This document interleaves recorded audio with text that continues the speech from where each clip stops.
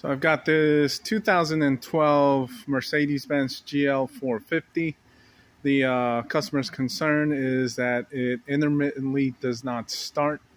There's no trouble codes uh, as far as what they've told me. This is from another shop, but basically you want me to check what the problem is. So I currently have it running just because I did get it to start. And again, for me, it's been difficult to duplicate it.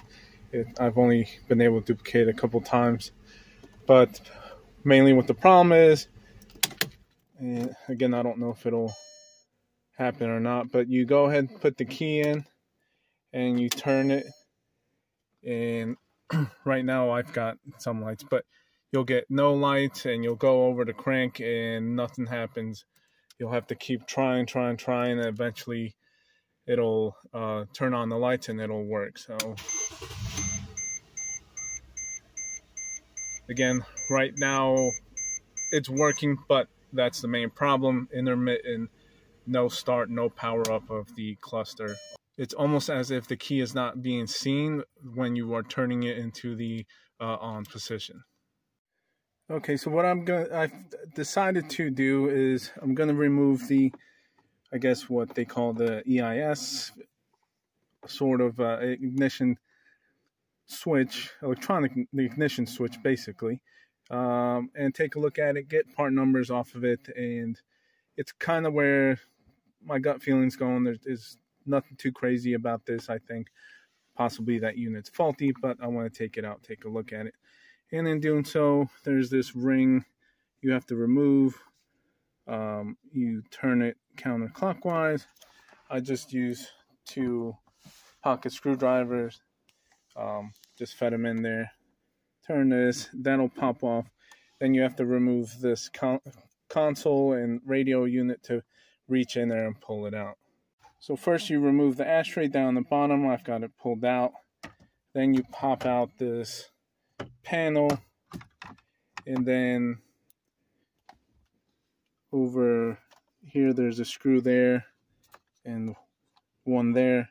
After you get those out you just slide that down. And you're able to pop out this radio unit. And once you do that you just reach in there pull out the ignition box and then unplug it so here it is, and then there's a, a part number that I was looking for. And just out of curiosity, I'm going to open this up to see if I find anything crazy. If not, I'll just be ordering a unit and going from there. Uh, obviously, you just pop the cover along the tabs and you should be able to get into the uh, circuit board and see if there's any problems.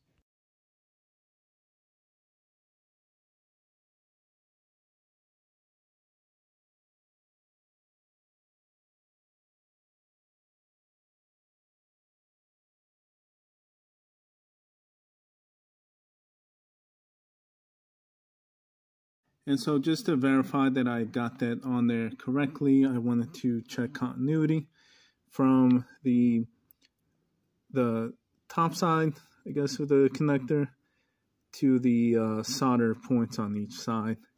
Uh, I've got my meter set up.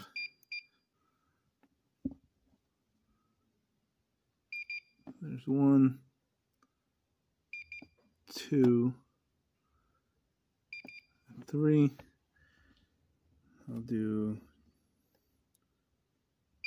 one, two, three.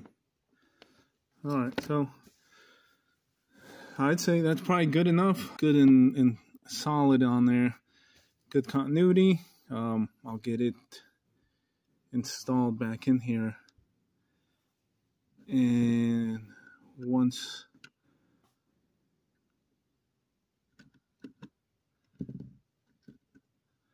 I'll get that back in there. Once it's all back together, I'll probably just show you a quick shot of it turning on, but um, no different than one when it was not acting up for me. But I know for sure now that it's going to be uh, good contact at all times. Okay, I've got the uh, EIS installed back in with the ring so that it holds it from falling before I put everything apart.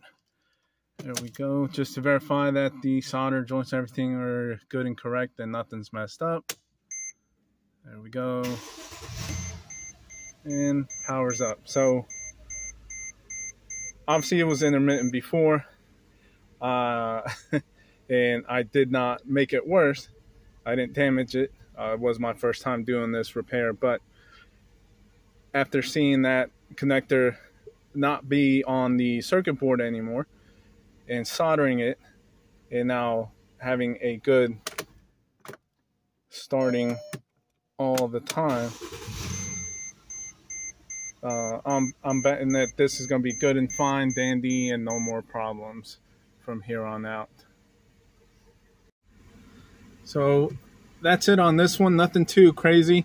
It's not what I was expecting. I was again just trying to get some part numbers and and order probably a new unit, or I was going to try to clone one, so on and so forth. But uh, I was glad I at least opened it up. Was able to see that connector that had come off the board, and um, you know uh, uh, another repair where I was actually able to make a repair and fix a car without you know having to buy parts and wait for downtime, all that. So uh, I hope this helps uh, some of you out there. Take a look at that board, that connector on the board. If it's come off, solder it on. It's a little bit tedious, but nothing that can't be done. So hope you enjoyed it. it. Got some good information out of this, and that helps someone out there. Other than that, that's it for now. Until the next one, I'll see you then.